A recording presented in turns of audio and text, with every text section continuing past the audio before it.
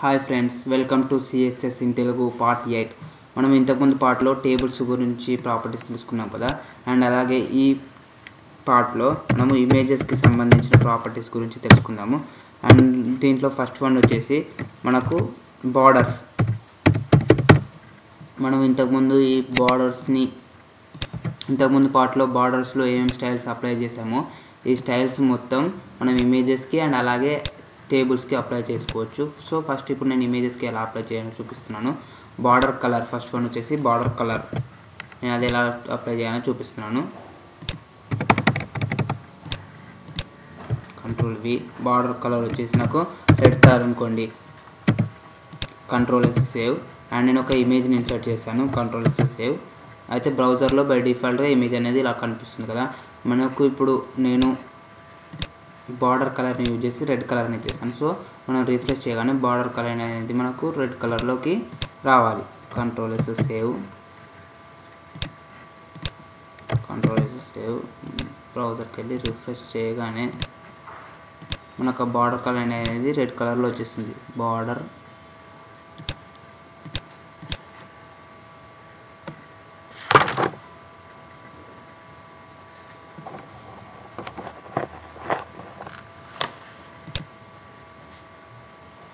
Sorry ఇక్కడ నేను border అనేది జీరో వచ్చేసాను అందుకే అది ఏం కనిపించట్లేదు. బార్డర్ ఈక్వల్స్ టు డబుల్ కోడ్స్తో టూ బార్డర్ అనేది బై డిఫాల్ట్గా జీరో ఉంటుంది కదా వాల్యూ అందుకే మనం కలర్ ఇస్తే చేంజ్ కాలేదు. సో ఇక్కడ బార్డర్ వాల్యూ వచ్చేసి నేను టూ వచ్చేసాను. కంట్రోల్ వేసి సేవ్ అండ్ బ్రౌజర్కి వెళ్ళి రిఫ్రెష్ చేయగానే చూడండి. బార్డర్ కలర్ అనేది రెడ్ కలర్లో వచ్చేసింది. సో ఇలా మనకు కావాల్సిన విధంగా బార్డర్ కలర్ని మనం సెట్ చేసేసుకోవచ్చు.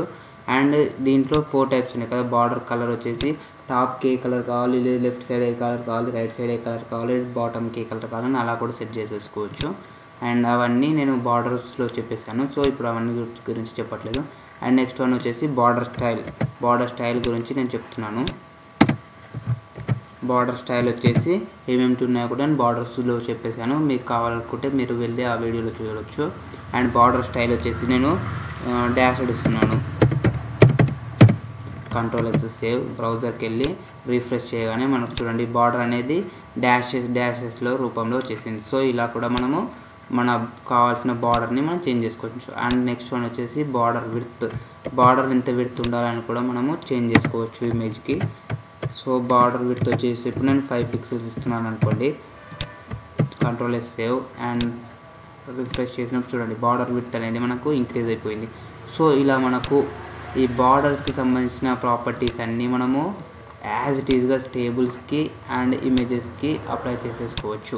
అండ్ నెక్స్ట్ వన్ వచ్చేసి ఇమేజ్కి సంబంధించిన ప్రాపర్టీ ఏంటంటే ఇంకొకటి జూమ్ ప్రాపర్టీ అంటే ఇప్పుడు మనము మౌస్ని ఆ ఇమేజ్ పైకి తీసుకెళ్ళగానే ఇమేజ్ అనేది మనకు జూమ్ కావాలి. సో దానికోసం మనం ఏం చేస్తూ ఏం యూజ్ చేస్తామంటే ఇక్కడ నేను లింక్స్లో చెప్పాను ఇంతకుముందు క్లాస్లో లింక్స్లో హోవర్ అని ఉంటుంది ఒకటి. ఆ హోవర్ని మనం ఇప్పుడు ఇమేజెస్కి కూడా యూజ్ చేసుకోవచ్చు. చూడండి నేను ఇంకొకటి తీసుకుంటున్నాను సెలెక్టర్ అనేది. ఇమేజ్ అండ్ హోవర్ ఇమేజ్లో హోవర్ అంటే ఆ మౌజ్ అనేది ఆ ఇమేజ్ పైకి వచ్చినప్పుడు ఏం జరగాలి అని నేను ఇక్కడ తీసుకుంటున్నాను. అప్పుడు బై డిఫాల్ట్గా అయితే వచ్చేసి ఇమేజ్ సైజ్ ఇలా ఉంది కదండి. మనకు ఇమేజ్ సైజ్ అనేది ఇప్పుడు నాకు నేను ఆ మౌజ్ని ఇమేజ్ పైకి తీసుకెళ్ళగానే నాకు ఇమేజ్ సైజ్ అనేది తగ్గాలి అనుకుందాం అనుకోండి.